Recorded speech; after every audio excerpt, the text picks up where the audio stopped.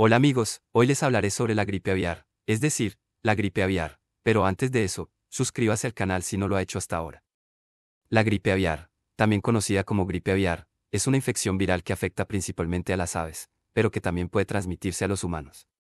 Es causada por las cepas H5N1 y H7N9 del virus de la influenza A.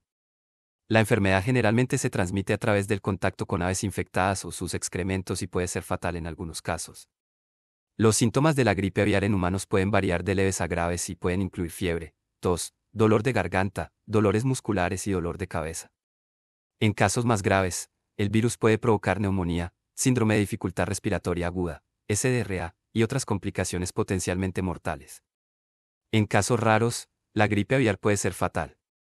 El tratamiento de la gripe aviar en humanos depende de la gravedad de la enfermedad.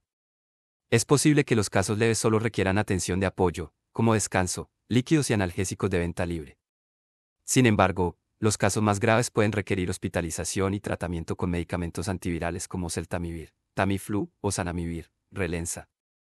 Estos medicamentos pueden ayudar a reducir la gravedad y la duración de la enfermedad, pero deben administrarse dentro de las 48 horas posteriores a la aparición de los síntomas para que sean efectivos.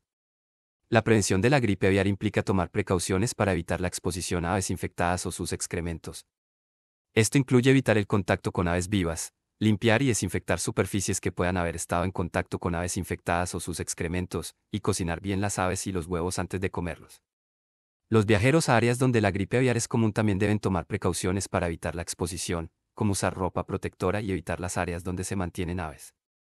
Las vacunas para la gripe aviar están actualmente disponibles, pero no se usan ampliamente en humanos. Las vacunas están diseñadas para proteger contra cepas específicas del virus y se recomiendan para las personas que trabajan con aves o tienen un alto riesgo de exposición. Sin embargo, la efectividad de estas vacunas puede variar según la cepa del virus, y se necesita más investigación para determinar su seguridad y eficacia a largo plazo. En conclusión, la gripe aviar es una infección viral que afecta principalmente a las aves, pero que también puede transmitirse a los humanos. Los síntomas pueden variar de leves a graves y pueden incluir fiebre, tos, dolor de garganta, dolores musculares y dolor de cabeza.